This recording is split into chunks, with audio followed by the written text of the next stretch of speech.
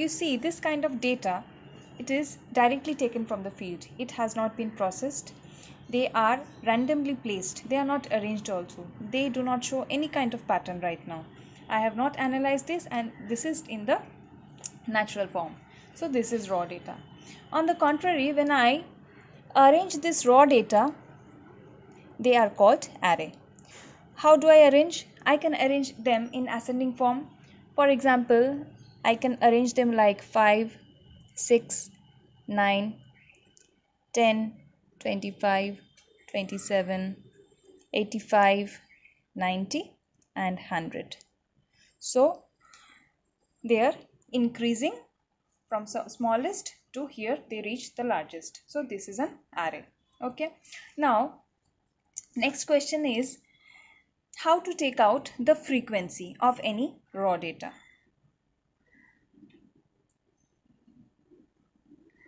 now what is frequency? Frequency is just we want to know how many students.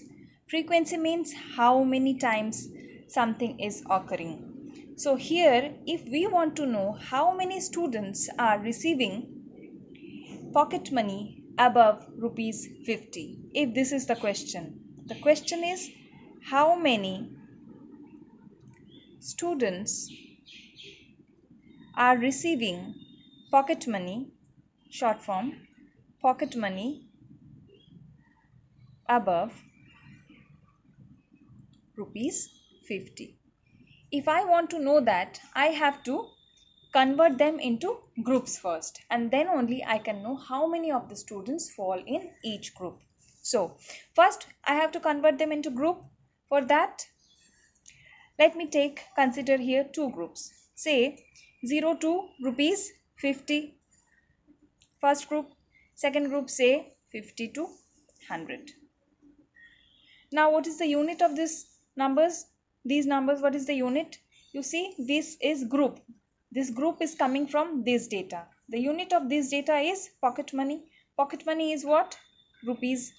So the unit of this is rupees so now we want to know the frequency. That means 0 to 50 rupees is received by how many students here? How many students have received 0 to 50 rupees? See rupees 10 is less than 50 25 less than 50 less than 50 less than 50 so how many student? 1 2 3 4 5 6 student have received pocket money ranging in this group 0 to rupees 50 now the second group is how many students have received pocket money? Above rupees 50 that is 50 to maximum number is rupees 100 you have to stop here 100 so how many of students have received pocket money?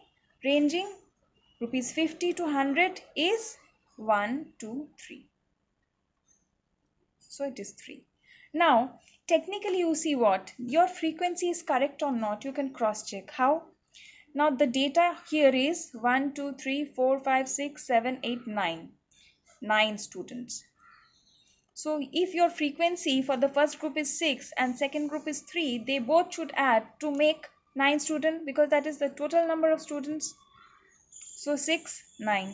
They both add up to 9. So yes, your frequency is correct. I'm clear? Now, the next question is what is group data?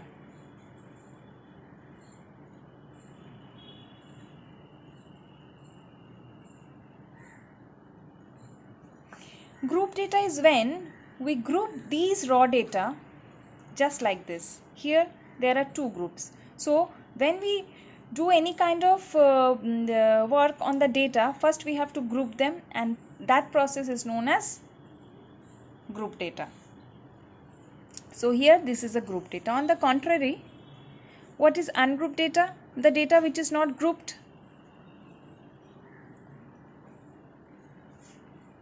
Like like what? Like that of the raw data here.